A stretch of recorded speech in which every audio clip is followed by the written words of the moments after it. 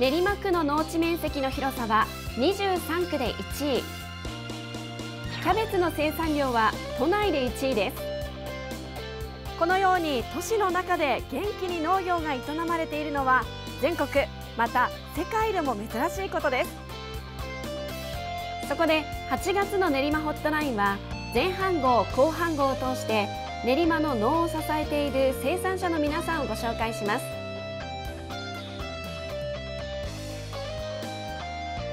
今回は少量多品種栽培を行う山下さんと学校給食に野菜を提供する吉田さんのお二人です。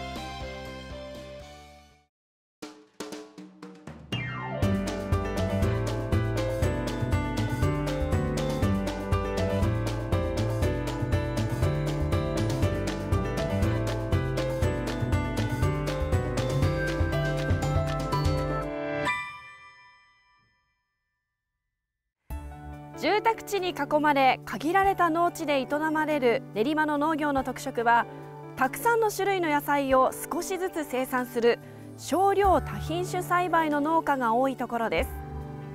そんな農家さんの一人山下さんをご紹介します。朝6時。山下さんの畑ではすでに収穫が始まっています。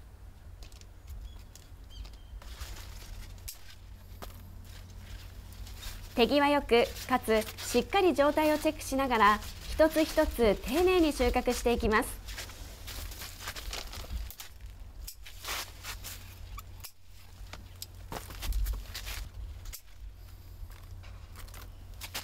今日は5時半過ぎですね。えっと先ほどはゴーヤとあときゅうりとあとオクラですね。えっとそうですね。すべて庭先の方であの袋詰めしたものをロッカーで販売しています。山下さんの畑で採れた野菜は自宅前直売所で販売しています。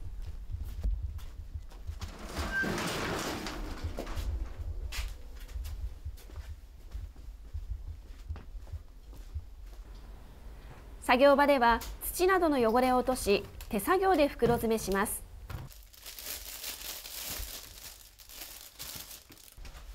そして朝8時の開店に間に合うようにコインロッカーに詰めていきます。ちょうど夏野菜の最盛期ということもあり14種類もの野菜が並びました。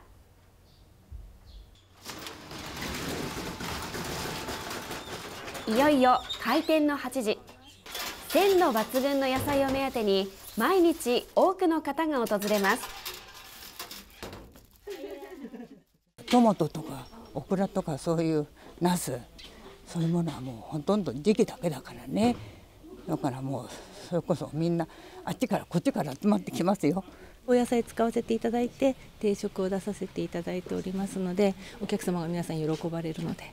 新鮮なのとそれから美味しいやはり美味しいのが一番ですね、えっと、少量多品目の野菜を生産販売していまして年間を通してだいたい40種類ぐらいの野菜を栽培しています。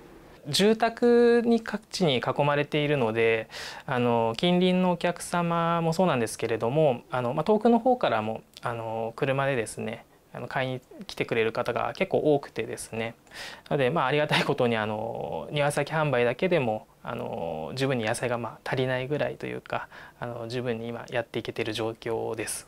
買いに来てくれるお客さんがあのと直接お話とかもするのでうん、やっぱ美味しい野菜をやっぱ作らなきゃいけないなっていうふうには思います。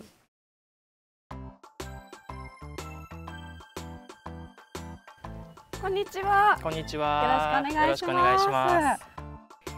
山下さんに畑を案内してもらい、ミニトマトの収穫のお手伝いもさせていただきました。先ほど採れたばかりのミニトマト。はい。はい、そしてこちらも。そうですね。茹でたばかりの枝豆です。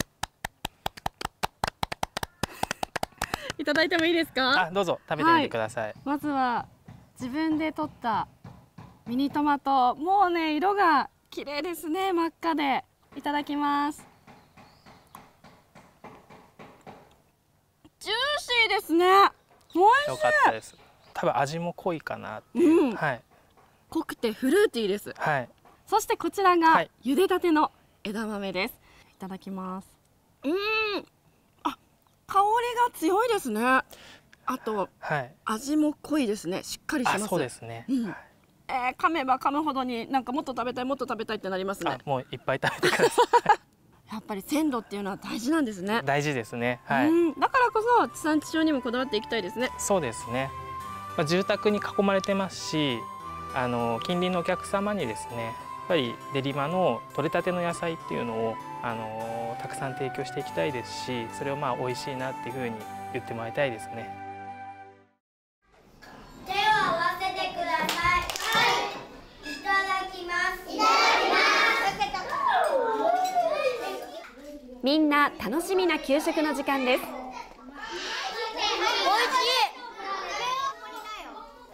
美味しそうに食べてい。る茹でたトウモロコシとスープに入っている玉ねぎじゃがいも。これらは田柄小学校に隣接する吉田さんの畑で収穫されたものです。えーうちでは主に学校給食に食材を提供しております。田柄小学校だけじゃなくて練馬区内の、えー小小学校、えー全部で7校ぐらいの、えー学校に収めております。枝豆きゅうりとうもろこしそれからじゃがいも玉ねぎ、えーキャベツに大根それからかぶなどを収めておりますね。あとレタスだとか。はい。もともとはあの私の親がやってた時は全て市場出荷でした。学校入れる経緯は私が PTA に携わるようになってその時にですね、えー学校を収めてくださいということをいただいたので、えー20年弱ぐらい経ちますね。やはり新鮮で安全美味しい野菜を、えー納品するように心がけております。吉田さんは子どもたちに美味しく食べてもらおうと丹精かけて作った野菜を毎日学校に届けていますあの来月はどんなお野菜が取れますか？っていうところでちょっと献立の方はあの早めに立ててはいるんですけれどもあの吉田さんの方で今月はじゃがいもがたくさん取れるよって言ったらちょっとあのじゃがいもをメインにした料理を入れたりとかやはりあのその時々の野菜をなるべく使うようにしています。取り立ての新鮮なお野菜をいただけるっていうこととあの安心なものをいただけるっていうことも大きなあのメリットかなというふうに思っています。吉田さんは学校から頼まれ収穫体験に協力しています。この日は田柄小の1年生がトウモロコシの収穫に挑戦しました。皮むいた時いろいろ観察してください。わかったこんな大きな木なんですけどもトウモロコシは1本の木から1本しか取れません、えー食べ物ですからね大事に扱ってくださいね。わかりました吉田さんからトウモロコシの育て方や収穫の仕方などのレクチャーを受けた後1人2本ずつ収穫を体験しました。あのまあ、小学校、えー、1、2年生が枝豆だとかトウモロコシを収穫に来たり土に触れるというのが一番いいんですけども種まきだとかね間引きだとか収穫だとか、まあえーいろいろ感じていただいて野菜の、えーどういうふうになっているか本来のこう木になっている姿を見ていただいたり、えーしていただければいいんじゃないかなということで、えー子どもたちも自分で収穫したものだと割合と一生懸命、ね、嫌いな子も食べるんじゃないかなということで始めてます。楽しかったです。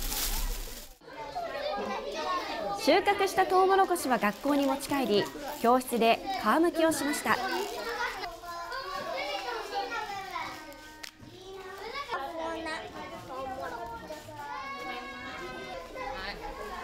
そして給食室に運び茹でて全校児童の給食に加えてもらいます。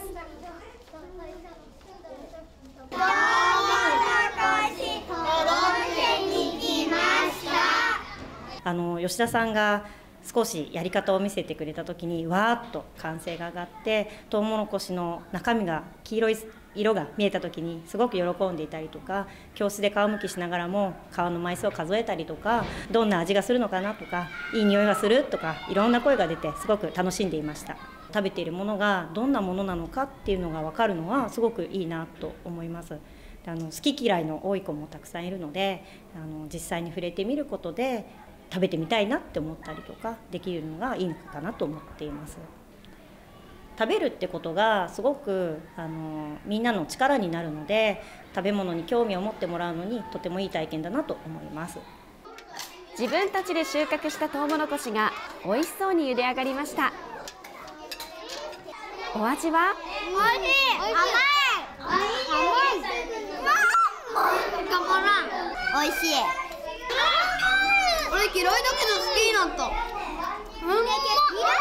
学校帰りにですね、えー、今日の給食美味しかったですよってい。う声い。ただい。たりすると、えー、励みになってまた一生懸命作って美味しい。野菜を作ろうとい。う、えー、い。う気持ちになりますんでね、えー、身を引き締めてですねい。つもやっております今回は山下さんと吉田さんお二人を紹介しましたこうして伺ってみると住宅地の中に畑がある都市農業ならではの特色や身近に地域の方たちがいるからこそのやりがいが見えてきますね。皆さんも魅力あふれる練馬の農をもっと知ってみませんか？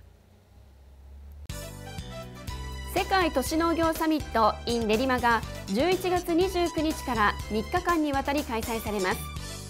都市農業に積極的に取り組む海外5都市が参加しての国際会議と区民の皆さんが楽しめる盛りだくさんのイベントが実施されます。ぜひご期待ください。次回の練馬ホットラインは今回に引き続き練馬の農を支える生産者の皆さんをご紹介します。どうぞお楽しみに。練馬の魅力は？よりどりみどり